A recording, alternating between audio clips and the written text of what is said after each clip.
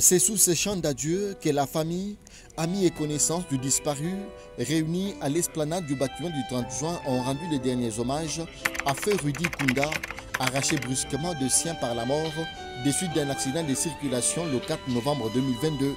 Touché par cette triste nouvelle qui a frappé la famille Kunda Milundu, ancien vice-gouverneur du Katanga, ancien ministre provincial de l'Intérieur du Haut-Katanga et actuel président national de l'association socioculturelle Sempia, le vice-gouverneur Jean-Claude Camfoy Kimimba, quelques ministres et députés provinciaux se sont joints à la famille éplorée. Jean-Claude Camfoy Kimimba a consolé les parents avant de déposer sa gerbe de fleurs devant la dépouille mortelle.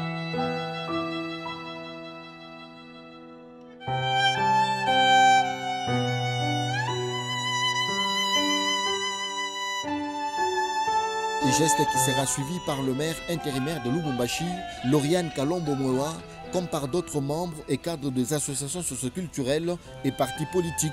Chrétien de son vivant, une messe de requiem a été dite sur place. L'officiant du jour a fait savoir que le défunt a fini sa course dans ce monde plein d'embûches et va désormais se reposer auprès du Père. C'est juste après que le corps sera conduit en sa dernière demeure à la nécropole Rivière des Anges de Kassangiri.